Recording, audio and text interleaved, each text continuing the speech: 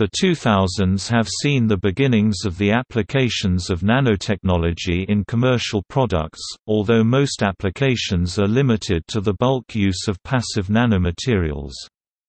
Examples include titanium dioxide and zinc oxide nanoparticles in sunscreen, cosmetics and some food products, silver nanoparticles in food packaging, clothing, disinfectants and household appliances such as silver nano, carbon nanotubes for stain-resistant textiles, and cerium oxide as a fuel catalyst.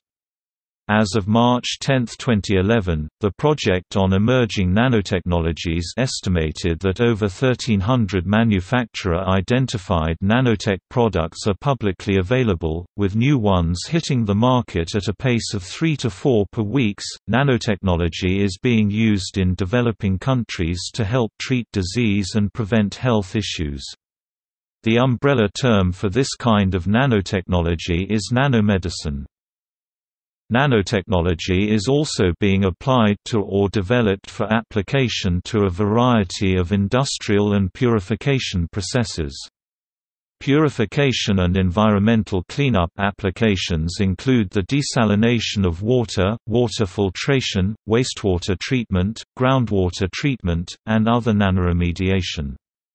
In industry, applications may include construction materials, military goods, and nano-machining of nano-wires, nano-rods, few layers of graphene, etc.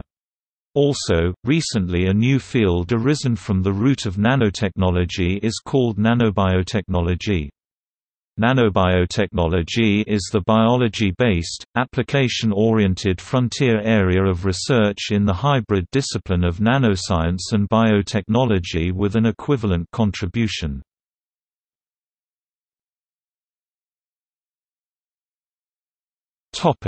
Applications by type. Nanomedicine. Nanobiotechnology Green nanotechnology Energy applications of nanotechnology Industrial applications of nanotechnology Potential applications of carbon nanotubes Nanoart